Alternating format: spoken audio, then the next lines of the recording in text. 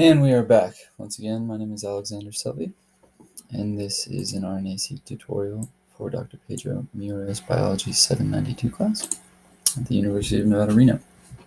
Okay, so last time, before I was so rudely cut off by the 10-minute limit of Screencastify, we ran our HiSat2 script, our bash script. So, as it worked through all the files, we got these little readouts, alignments, and overall alignment rates. So after that, it generated all these beautiful SAM files for us.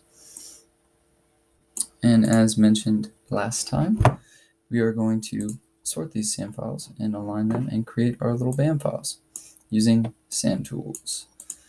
So let's run our sort.sh script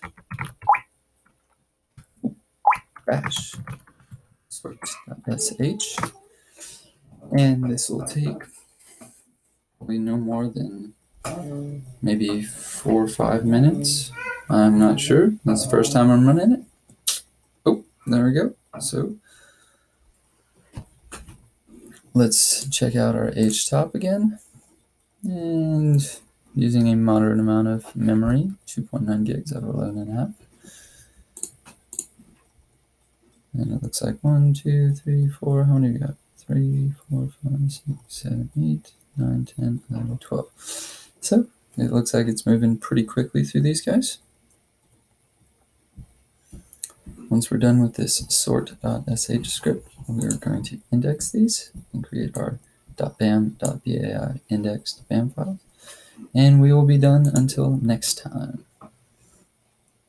where we will begin using the integrated integrative genomics viewer,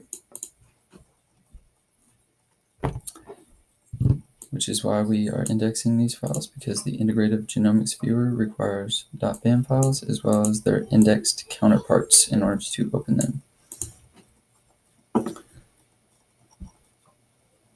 And there we go. Let's check to see if we got our BAM files. And here we go.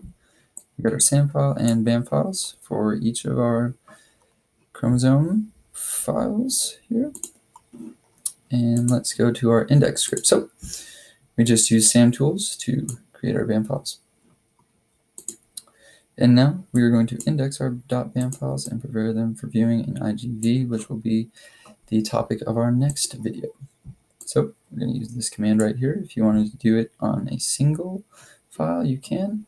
But we have our index.sh bash script, which will convert all of our BAM files into bam.bam.ba files for us. So let's run that.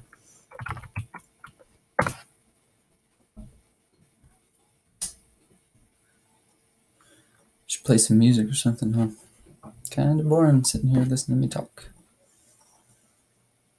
I was a little surprised when the uh, last video cut off, and there we go. Less.